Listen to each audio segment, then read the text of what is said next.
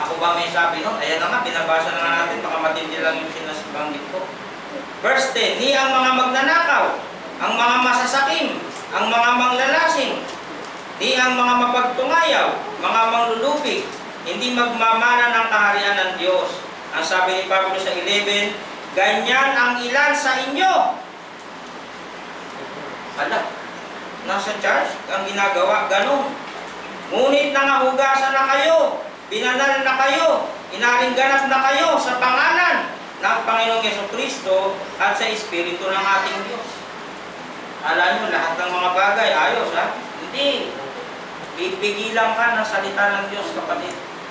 Hindi mo magagawa yung gusto mo. Bakit? Hindi na ikaw nagmamayari ng katawan mo na yan. Ang Panginoon na ang nagmamayari niya. Kaya nga, kung siya ang nagmamayari niyan, batas niya umihiro dapat sa katawan na yan. Alam mo dapat, bilang Kristiyano, yung tinatawag na tama at mali. At bilang kasi ng iba, eh, malaki na naman ako eh. Alam ko na yung tama at mali. Ay, hindi rin.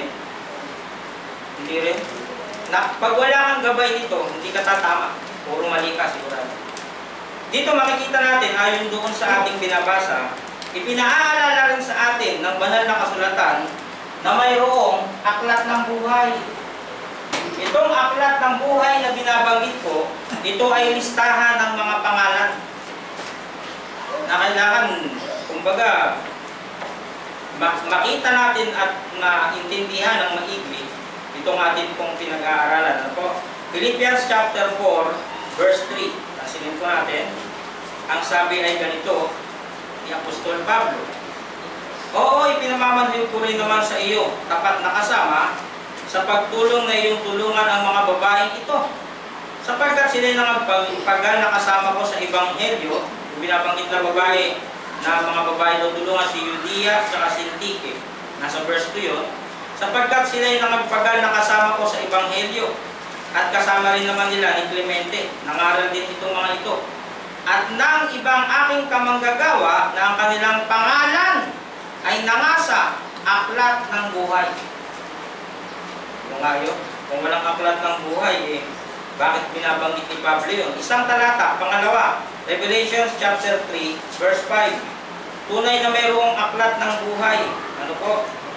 Yan ang ipinaalala sa atin ng banal na kasulatan. Sa verse 5, ang magtagumpay ay darantang gayon ng mapuputing damit. Magkakaroon ng sinatawag na pagbabago. Itong katawang lupa, papalitan ng walang kamatayan. Ayon sa 1 Corinthians 15 patuloy. At hindi ko papawiin sa anumang paraan ang kanyang pangalan sa aklat ng buhay. At ipahayag ko ang kanyang pangalan sa harapan ng aking ama at sa harapan ng kanyang mga anghel. Pangatlong pagpapatunay, Revelation chapter 13, verse 8, na mayroong aklat ng buhay. At ang lahat ng nangananahan sa lupa ay magsisamba sa kanya, na ang kanyang pangalan ay hindi na susulat sa aklat ng buhay ng kordero. Wala daw yung pangalan doon sa aklat ng buhay ng kordero. Pag wala doon, destruction ang mangyayari po. Inisigurado iyan na ang banal na kasulatan. So, na, ah, nasa verse 13 na po tayo. Sa verse 13, ay nakalagay naman ang ganito, At ibinigay ng dagat ang mga patay na nasa kanya. At ibinigay ng kamatayan at ng Hades ang mga patay na nasa kanila. At sila'y hinatulan, bawat tao, ayon sa kanikanyang mga gawa. So dito may nakakalito rin isang bagay. Bigyan natin ng paliwanag. Sa verse 13 nakalagay po diyan, yung dagat daw, ibinigay yung mga patay. C. Yung death at saka yung Hades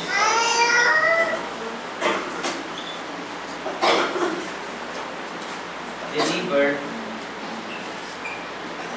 the death. Saan dinala? Nasabi diyan sa tinatawag ng mga mga kasunod na talata yan, titingnan natin kung saan nila ngayon. Ito yung tinatanong ni Sister sa Pasay nung nakaraan. Ano po? Ano ba ibig sabihin noon na ibinigay ng dagat ang mga patay na nasa kanya? And the sea gave up the dead. Kasi kung inyo pong mapapansin, lahat ng namamatay sa isang uh, ma, sa isang pagtingin natin, inililibing. Ang tanong, paano yung mga namatay sa dagat Hindi nabigyan ng burol, o namatay sa sapa, o namatay sa... Basta may kinalaman sa tubig. Paano yun? Kinain ng pating ang katawan, basta may buburol yun. O, eh yung kay Paraon, nung habulin niya si Moses, napakarami nun. Di ba?